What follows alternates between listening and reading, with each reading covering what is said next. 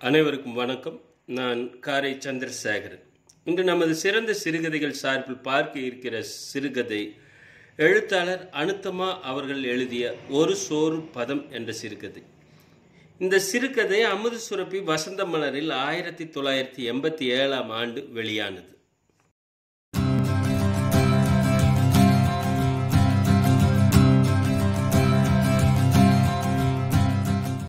Bus நின்றதும் கண்களை சுருக்கி பெயர் பலகையை பார்த்தேன். ஜீவானந்த நகர் என்று படித்ததும் அவசர அவசரமாக இறங்கினேன். பஸ் கண்டக்டர் வேறு வீட்டில் சொல்லிட்டு வந்துட்டாயா? முன்னாடி இறங்குறதுக்கு என்ன பேஜாரு என்று முத்தாய்ப்பு வைத்து வாழ்த்தினான். என் பிழைப்பையே படம் எடுத்து தந்து விட்டேனோ? வீட்டில் சொல்லிவிட்டுத்தான் வந்தேன். என்னவென்று? இந்த ஒரு இடமும் தே- நேரவில்லை என்றால் இனி ஜாதகமே கையில் எடுக்க மாட்டேன் என்று. முன்னாடி இறங்குவதற்கு என்ன என்றானே அந்த பஸ்கர் நான் எவ்வளவோ இறங்கித்தான் வந்து விட்டேன் நடுத்தர வர்க்கத்து பிராமண குடும்பஸ்தன் கதி பரிதாபம்தான். கிடைத்த சம்பளத்தில் மூன்று பெண்களையும் படிக்க வைத்து வேலைக்கு அலைந்து தேடி தந்து பிறகு வரன் தேடித்திருந்து எத்தனை எத்துணை கால உழைப்பையும் ஊதியத்தையும் சேர்த்து கண்ணின் இமைக்குள் வைத்து வளர்த்த செல்வங்களை பிறரிடம் ஒப்படைத்து விட்டு அவர்கள் சேமமாக இருப்பார்களா என்று ஜோசியம் பார்க்கும் அளவுக்கு இறங்கிவிட்டேனே. விட்டேனே சம்பந்திகள் இட்ட கட்டளைகளுக்கு பெருமாள் மாடு மாதிரி தலையாட்டி கொண்டு மாப்பிள்ளையாட்டும் கோளுக்கு நர்த்தனமாடிக்கொண்டு பெண்களின் கண் பிசைதலுக்கு பயந்து கொண்டு. சரி இந்த கடைக்குட்டி சரைவுக்காவது கல்யாணம் செய்யாமல் அவனை வீட்டிலேயே வைத்து கொள்ளலாம் என்று இருக்கிறேன். அதற்கு மனம் துணியவில்லை. கடமையில் தவறி விடுவதாக ஒரு உறுத்தல் உள்ளத்தை அரிக்கிறது. இதோ கிளம்பி விட்டேன் செவ்வாய் தோஷ சாதகங்கள் கிடைப்பது கடினம். மிக மிக நன்றாக பொருந்தி இருக்கிறதாம் எங்கள் ஜோசியர் சொல்லிவிட்டார். அவர்கள் ஜோசியரும் ஆமோதிக்க வேண்டுமே. பிறகல்லவா பேசலாம். எனக்கும் என் மனைவிக்கும் யார் ஜாதகம் பார்த்தார்கள்? பையன் நல்ல குடும்பம் பிழைத்துக் கொள்வான் ஆரோக்கியமாக இருக்கிறான் என்று பார்த்தார் என் மாமனார். என் அப்பாவை கேட்டார் பெண் அடக்கம் வீட்டு வேலைகளை நிர்வகிப்பார் யா பார்க்க பரவாயில்லை என்று என் அப்பாவும் ஒப்புக்கொண்டார். அவ்வளவுதான். எங்கள் முப்பது வருட தாம்பத்தியத்தில் ஒரு நாள் கூட பெரிய உரசல் ஏதுமில்லை. இந்த காலத்தில் பையனும் பெண்ணும் தாமாகவே பார்த்து விரும்பி மனம் முடிக்கின்றனர் என்னை போல் எத்தனை பேர் அப்படியும் இல்லாமல் இப்படியும் இல்லாமல் ஜாதக கட்டை தூக்கி கொண்டு அலைகிறோம். என் சிந்தனைகள் எனக்கு துணை இருந்தன போலும் வேகமாக நடந்து வந்து விட்டேன். சிவப்பு கட்டடம் வீட்டுக்கு வெளியே கார்ப்பரேஷன் வைத்த செடி கூண்டில் வளர முயன்று கொண்டிருந்தது. அடையாளம் சரியாக இருக்கவே நேரே போனேன் சந்தேகத்துக்கு இடமில்லாமல் பளபளவென்று பிற்பகல் வெயிலில் மின்னிய இரண்டு பித்தளை தகடுகளில் ஒன்றில் கே. நடேசன் என்றும் மற்றதில் டாக்டர் என். முரளி என்றும் செதுக்கியிருப்பதைக் கண்டு வெளிக்கதவை திறக்கலானே. நன்றாக திறக்க முடியாமல் அங்கே நின்ற காரின் பின்புறம் மோதியது கதவு. மெல்ல வளைந்து உள்ளே நுழைந்து கதவை பழையபடி மூடிய பிறகுதான் உள்ளே அடியெடுத்து வைக்க முடிந்தது. நந்தியை விலகச் சொல்லி அன்று நந்தன் பாடிவிட்டான். இன்று எனக்கே அவ்வளவு திறமை. அந்த அம்பாசிடர் காரை கட்டி தழுவி முன்புறம் வந்தேன். ஒரு தினுசாக படிக்கட்டை பிடித்து ஏறி வீட்டின் கதவில் இருந்த வெளிமணியை அழுத்தினேன்.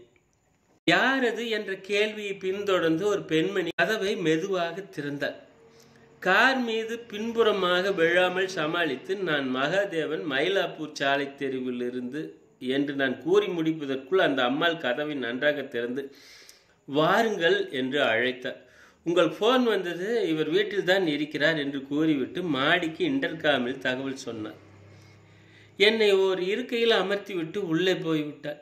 டாக்டர் முரளியின் தகப்பனார் இறங்கி வந்தார். புதிய மாதிரி ஃப்ரேம் போட்ட கண்ணாடி துல்லிய பாலியஸ்டர் வேட்டி அரைக்கை பட்டுச்சட்டை பார்க்க கம்பீரமாக இருந்தார் நடேசன். நான் என் உடைகளை ஒரு தரம் கண்ணோட்டம் விட்டேன். மடிப்பு கலைந்து பஸ்ஸில் நசுங்கி என்னைப் போலவே ஜீவனும் இல்லாமல் ஆனந்தமும் இல்லாமல் காணப்பட்டது. கைகூப்பி வரவேற்றார் நடேசன். நான் எழுந்து பவ்யமாக மறு வணக்கம் செலுத்தினேன். உட்காருங்க என்று நான் இருக்கையை காட்டிவிட்டு அவர் தானும் அமர்ந்தார். பீங்கான் கோப்பைகளில் மணக்கும் காப்பியுடன் வீட்டு அம்மாள் வந்து எங்கள் இருவரிடமும் நீட்டிவிட்டு தானும் ஒரு கோப்பை எடுத்தவாறு எதிரே ஒரு இருக்கையில் அமர்ந்தார். நாங்கள் இன்னமும் ஜாதகம் பார்க்கலை உங்களுக்கு சரியாக இருக்கிறதாக்கும் என்று கேட்டார் நடேசன். வேண்டாம் என்று மறுப்பதற்கோ ஒரு அஸ்திரமாக ஜாதகத்தை வைத்திருக்கிறார்களா? உண்மையிலேயே பார்க்கவில்லையா? ஒன்றும் புரியவில்லை. நானும் சாவதானமாக என் ஜோசியர் நல்ல பொருத்தம் அங்கேயும் பார்த்து சொல்லிட்டா மேற்கொண்டு வேலைகளை கவனிக்கலாம். சத்திரம் கிடைக்க ஒரு தபசை இருக்கணும் என்றேன். நாங்கள் தயாராக இல்லை என்றால் என்னை இன்று வரச் சொல்லுவானேன் தொலைபேசியிலேயே தகவல் தரக்கூடாது. அவர்கள் பிள்ளை வீட்டுக்காரர்கள். என் பெண் செவ்வாய் தோஷ ஜாதகம். நான் மௌனமாக தலை கவிழ்ந்தேன். அவர்கள் என்ன பதில் சொல்வார்களோ என்று என் செவி மட்டும் கூர்மையாக காத்தது. பையன் பெண்ணை பார்க்கட்டுமே என்றார் நடேசன். இந்த காலத்தில் பெண்கள் வயது வந்தவர்கள். பார்த்த பிறகு ஜாதகம் சரியில்லை என்று விடுவது உசிதமில்லை அல்லவா? உங்கள் ஜோசியர் பச்சை கொடி காட்டட்டும் நாம் பிறகு பேசுவோம் என்று கூறிவிட்டு நான் எழுந்திருக்கலானே. காபி சாப்பிடுங்கோ ஆறிப்போயிடும் என்றால் பையனின் தாய். பையனை பற்றி நீங்கள் ஒன்றுமே கேட்கவில்லையே. அவன் மணிபாலில் படித்து பட்டம் பெற்றான் வெளிநாட்டு பரீட்சைகளும் எழுதியிருக்கிறான் என்று நடேசன் துவங்கினார் மரியாதை கருதி காப்பியை அருந்தியவாறே சிந்திக்க ஆரம்பித்தேன் இதை தவிர வேறு செவ்வாய் தோஷ ஜாதகம் ஏதாவது கைவசம் உண்டா என்று நான் என்று நான் எண்ணமிட்ட வண்ணம் இருந்தபடியால் அவர்கள் பேசியதில் பாதிக்கு மேல் என் மனத்தில் பதியவில்லை.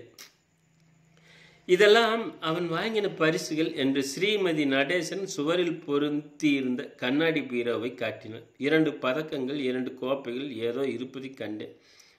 பையன் சில கொள்கைகள் வைத்திருக்கிறான். நீங்கள் இவ்வளவு தூரம் வந்திருக்கிறீர்களே சொல்லிவிடுகிறேன். நம்ம சம்பிரதாயப்படி பெண் பார்க்கும் படலும் அவனுக்கு பிடிக்கவில்லை. எங்காவது பொது இடத்தில் பார்க்கலாம் என்கிறான். பெண்ணோடு சில வார்த்தைகள் பேச வேண்டுமாம். அவர்கள் அடுக்கிக் கொண்டே போனார்கள். நான் இடைமறித்து பிராப்தம் இருந்தால் பார்ப்போம். எனக்கு ஒரு கார்டு போட்டு விடுங்கள் என்று கூறிவிட்டு காப்பி கோப்பையை கீழே வைத்தேன். தம்பதிகள் எழுந்து வழி அனுப்ப வெளியே வந்தனர். மறுபடியும் முதற்படியில் ஒரு சர்க்கஸ் காரின் முகப்பின் மீது ஒரு கை வைத்தவாறு வெளிக்கதவை எட்டிவிட்டேன். இன்னும் காருக்கு செட் கட்டளையாக்கும் என்று என்னால் கேட்காமல் இருக்க முடியவில்லை. இந்த காலத்தில் கண்மறைவாக காரை பூட்டி வைத்துவிட்டு தூங்கினால் அவ்வளவுதான் என்றார் நடேசன். என் கண் முன் வீட்டின் பக்கவாட்டில் காலியாக கிடந்த பத்தடி நிலம் பரவி நின்றது. கேட்டை மூடிவிட்டு தெருவில் நின்று ஒரு பெருமூச்சு விட்டுவிட்டு வீடு நோக்கி கிளம்பினேன். ஊரை விட்டு எங்கேயோ தொலை தூரத்தில் வீட்டை கட்டி போட்டு விடுகிறார்கள். அவர்கள் சொந்தக்காரில் பவனி வருவார்கள். என்னை போன்றவர்களோ இனி இப்படி எட்டாவது இடத்தில் வரன் இருந்தால் நான் அந்த ஜாதகத்தை தொடக்கூட போவதில்லை. இப்படி ஒரு உறுதி எடுத்த பிறகு எனக்கு கொஞ்சம் தெம்பு வந்தது. வேகமாக நடந்து பஸ் ஸ்டாப்புக்கு வந்தேன். பஸ்ஸும் வந்தது. ஏறி அமர்ந்து வீடு வந்து சேர்ந்தேன். என் மனைவி ஆவலோடு எதிரே வந்தாள். உதட்டை பிதுக்கி விட்டு என் சாய்வு நாட்களில் பொத்தென்று விழுந்தேன். என்ன ஆச்சு? ஒன்றுமே ஆகலை. அழகான வீடு கட்டி இருக்கிறார்கள். வீட்டுக்குள்ளேயே ஒருத்தரோடு ஒருத்தர் டெலிஃபோனில் பேசிக்கொள்கிறார்கள் நல்ல காப்பி தருகிறார்கள். இதுதான் இன்று கிடைத்த ஞானம் என்று எரிச்சலுடன் பதில் அளித்தேன். அவள் இங்கிதமாக அப்பால் போய்விட்டாள். மெல்ல மின்விசிறி இயங்கியது. நான் கண்ணை மூடி ஆசுவாசப்படுத்தி கொண்டேன். ஏமாற்றத்தின் கைப்பு ஓரளவு அடங்கியது. நான் யாருடனும் எதை பற்றியும் பேசவில்லை. என் பெண் சரையா கூட என்னிடம் ஏதும் கேட்கவில்லை. ஆஸ்பத்திரியிலிருந்து அழுத்து வந்த அவள் கைகால் முகம் கழுவி என் எதிரே அமர்ந்தாள் ரிக்கார்டரில் இதமான சங்கீதம் போட்டாள் வயலின் இசை மிருதுவாக என் நரம்புகளை வருடி கொடுத்தது. கண்களை மூடியபடி படுத்திருந்த நான் மெல்ல திருட்டுத்தனமாக ஒரு கண் இமையை விளக்கி அவள் முகத்தை நோட்டம் விட்டேன். சஞ்சலமின்றி இளம் புன்னகை ஒன்று முகத்தில் தவழ அவள் சங்கீதத்தை ரசித்தாள். கால்களை நீட்டி கிளவி போல நீவி விட்டு கொண்டாள். ஏனம்மா கால் வலிக்கிறதா என்று கரிசனத்தோடு கேட்டு அவன் தாய் அவளுக்கு பலகாரம் காப்பியை தந்தார் நாலு ஆப்ரேஷன் இரண்டு எமர்ஜென்சி கேஸ் அட்மிஷன் தவிர வழக்கமான நடை மூணு நர்ஸ் லீவு என்றால் சரையு சுருக்கமாக. பேசாமல் உன் பெரியக்கா மாதிரி பேங்க் வேலைக்கு போயிருக்கலாம். இல்லையோ சின்னவன் மாதிரி டீச்சராக இருக்கலாம் ஓய்வே இல்லாத வேலையை தேர்ந்தெடுத்துட்டேன் என்றாள் தாய். சரி அம்மா எல்லாரும் பேங்க்லேயே உட்கார்ந்துருக்கட்டும் பாடம் சொல்லி கொடுத்து கொண்டுட்டும் இருந்தா யார் நோயாளிகளை பார்த்துக்குவா? நீ தானே சொன்னேன் அப்பா ஆஸ்பத்திரியில் இருந்தப்பா அந்த நர்ஸ் ஒவ்வொருத்தையும் உனக்கு பெண் மாதிரி இருந்தான்னு என் தாயின் வாயை மடக்கி அனுப்பிவிட்டார். எனக்கும் என் குழந்தையின் அலுப்பை பார்த்து கஷ்டமாக இருந்தது. ஆனால் அவளே தான் இதை தேர்ந்தெடுத்து படித்தாள் வாய்ப்பு கிடைத்தால் டாக்டராக கூட போக ஆசைப்பட்டாள் பெண் வேலைக்கு போக வேண்டும் என்று இரண்டு மூன்று நபர்கள் கேட்ட பிறகுதான் பெரியவளை வேலைக்கு அனுப்பினேன் பிறகு இருவருக்கும் தொழில் கல்வியை கற்றுக் கொடுத்தேன். நான் உறங்கிவிட்டேன் போலும் உணவருந்து அழைத்த பின் எழுந்தேன். சாப்பாடு முடிந்ததும் யாருடனும் பேசாமல் படுக்கைக்கு விரைந்தேன். சற்றைக்கெல்லாம் என் நெற்றி மீது இதமாக ஒரு கை வருடியது.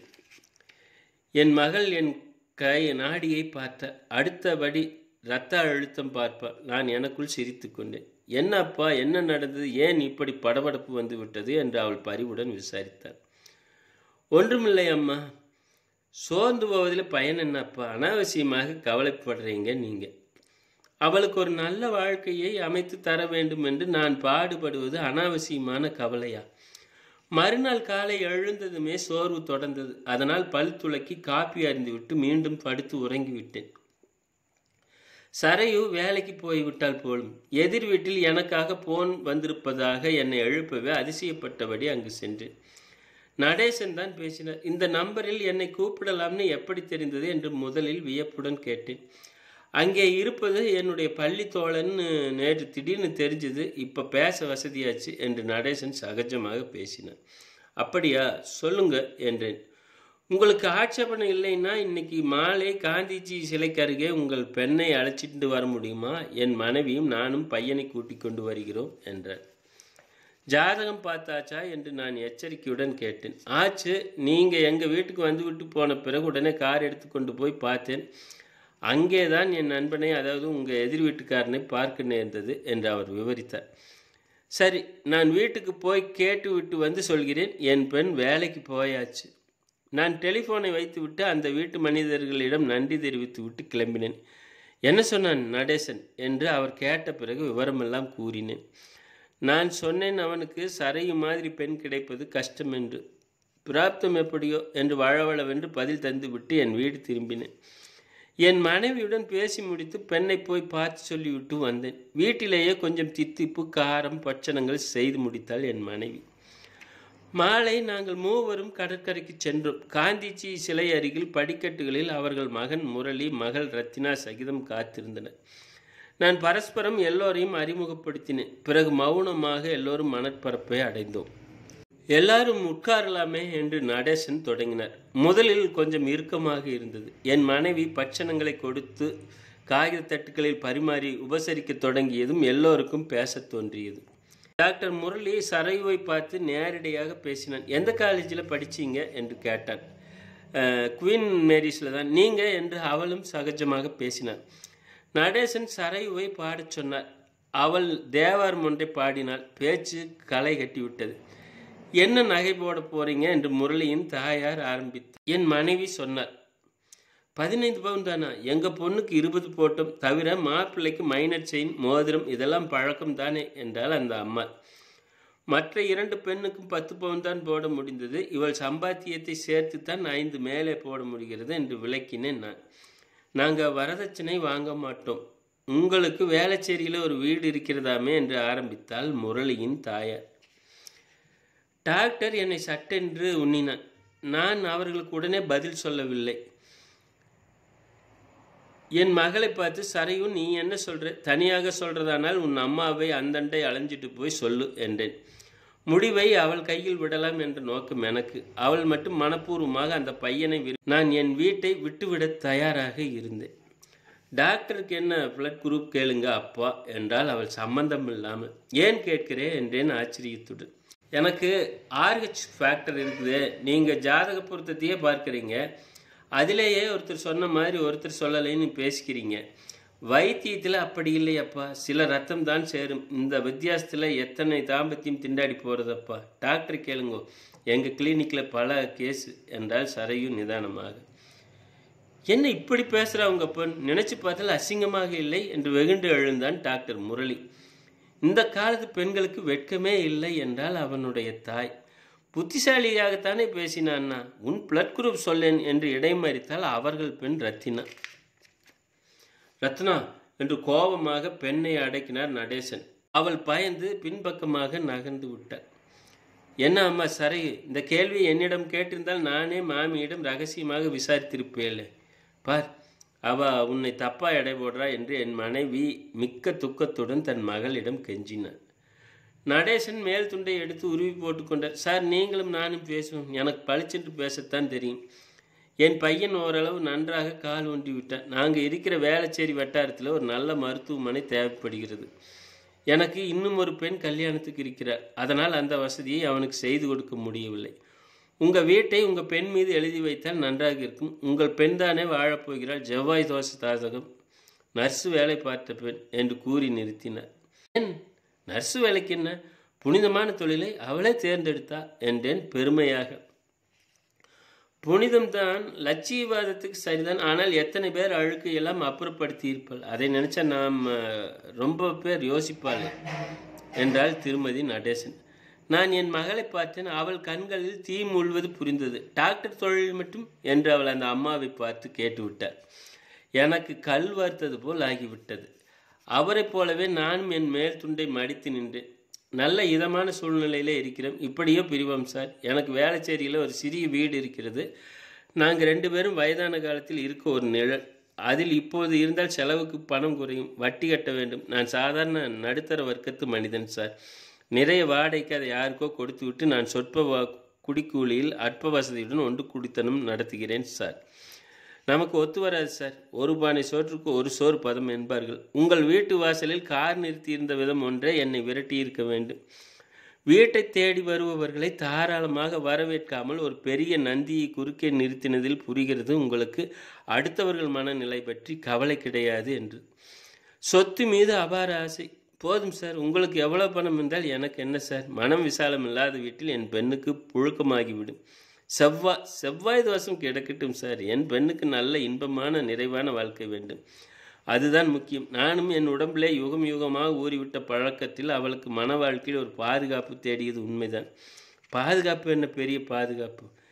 நீங்கள் ஒரு நல்ல யோசனை சொல்லி வைங்க வீட்டை அவள் பேரிலேயே எழுதி வச்சிட்டேன். Thanks sir. என் புத்தியை தெளிவுபடுத்திட்டீங்க. அவள் தன் தொழில் செய்து கொண்டு பிறர் கஷ்டத்தை நீக்கி கொண்டு வாழட்டும். நான் படபடப்பாய் பேசிவிட்டேன். என் மூச்சு வாங்கியது முகம் சிவந்தது.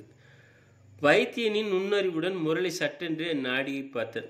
சரையோ அதற்குள் என்னை தழுவி வடி அமர வைத்து எதுக்கு அப்பா நீங்கள் உணர்ச்சி வசப்படுறீங்க? நீங்கள் இனி செய்ய போகிறதெல்லாம் இப்போ விஸ்தரிக்கணுமா? சரிப்படலைன்னா போச்சு என்று அன்புடன் கடிந்தார். என் மனைவி தன் தலைப்பால் என் முகத்தை விசிறினார் வாடா முரளி அவர் கையை விடு என்று கட்டளையிட்டார் தந்தை. அவன் என் கையை பார்த்துவிட்டு ஹார்ட் என்று முடிக்காமல் சரைவை கேட்டாள். ஆமாம் என்று என் மகன் கண்ணிமைத்தார். அவன் வேகமாக நடந்து செல்லும் தன் பெற்றோரையும் பின்பற்றவும் முடியாமல் எங்களை அப்படியே விட்டுவிடவும் துணியாமல் தவித்தான். நீங்கள் போங்க எனக்கு பழக்கம்தான் பார்த்துக்கொள்கிறேன் என்றாள் சரையு. அவன் கை ஊப்பி விட்டு விடை பெற்றான் இப்பொழுது அவன் முகத்தில் ஒரு கனிவு இருந்தது. நான் ஆசுவாசம் அடையும் வரை அவன் என் அருகில் இருந்தான். பிறகு மிஸ் சரையு என் பிளட் குரூப் கூட என்று ஆரம்பித்தவளை சரையு கையமர்த்தி நிறுத்திவிட்டார். இனி தேவையில்லை. நான் இனி கன்னியாகவே இருப்பதாக தீர்மானித்து விட்டேன். என் தகப்பனாருக்கு ஒரு மகன் இல்லை. அப்படி ஒருவன் இருந்திருந்தால் அவன் என் அப்பா அம்மாவை கவனிப்பான். அவன் கடமை தவறினாலும் ஊரார் அவனை சொல்லி செய்ய வைப்பார்கள். இன்றைக்கு இவ்வளவு விஸ்தாரணமாக பேசிய பிறகுதான் எனக்கு எல்லாம் தெல்லென புரிந்தது. நான் இனி என் பெற்றோருக்கு ஒரே பிள்ளை என்றால் சரையு தீர்மானமாக. எனக்கும் இன்றைக்கு பல விஷயம் புரிந்தது. நீங்கள் சொல்வது போல இரத்த குரூப் கவனிக்க வேண்டியதுதான். நடேசன் தூர நின்று மகனுக்காக காத்திருப்பது தெரிந்தது. ரத்தினா ஓடோடி வந்தாள். அண்ணா அப்பா கோபமாக இருக்கிறார். வா சீக்கிரம் என்றாள். டாக்டர் முரளி கிளம்பி விட்டான் அவன் திரும்பி பாராமல் தன் தங்கையுடன் நடந்தான். தன் பெற்றோர் இருக்குமிடம் அடைந்தவுடன் ஒரு முறை திரும்பி பார்த்தார்கள் அண்ணன் தங்கை இருவரும் கையை உயரத் தூக்கி அஞ்சலி செய்தனர். நானும் கையை தூக்கி ஆமோதித்தேன். வெட்கமில்லைன்னு உன்னை சொன்னார்களே அந்த பையனுக்கு தான் வெட்கமில்லை. அப்பாவோடும் சேருகிறான் நம்மகிட்டையும் குழைகிறான். நான் நரநரவென்று பல்லை கடித்தேன். போதும் அப்பா அவர்களோ போய்விட்டார்கள். இன்னும் என்ன கோபமும் தாபமும் என்றால் சரை படிப்பும் பண்பும் அவர்கள் உடம்பிலேயே ஊறவே இல்லையே. டாக்டர் பையன் தன் தொழிலில் புனிதம் புரியாமல் வியாபாரமாக நினைக்கிறானே என்று என் மனைவி அங்கலாய்த்தார் ஊறி போனது எல்லாம் ஒரே நாளில் நீக்கிவிட முடியாது அம்மா. பசங்களை படிக்க வைக்கணும் வேலைக்கு அனுப்பணும் கல்யாணம் செய்து வைக்கணும். இப்படி ஒரு நியதி ரயில் வண்டி தொடர் மாதிரி ஒரே மாதிரி ஜாதகம் பெண் பார்ப்பது லௌகீகம் பேசுவது எல்லாம் கண்மூடித்தனமாக நடக்கிறது. இப்படி எத்தனை பேர் அம்மா? இந்த அப்பா மாதிரி உப்பு காகிதமாக உரசி எடுப்பா சொல்லு. என்று மொழிந்துவிட்டு என் மகள் பெரிய நகைச்சுவை கண்டவள் போல கலகலவென்று சிரித்தாள். இந்த மாதிரி ஊறிப்போன வியாதிகளுக்கு என்னை போல ஒரு இதய கோளாறு என்ன செய்துவிட முடியும்? என் பெண்ணும் அந்த டாக்டரும். ரத்தினாவும் கை தூக்கி காட்டிக்கொண்ட போது இந்த இளைஞர் உலகம்தான் வழிகாட்டப் போகிறது என்று எனக்கு தோன்றியது.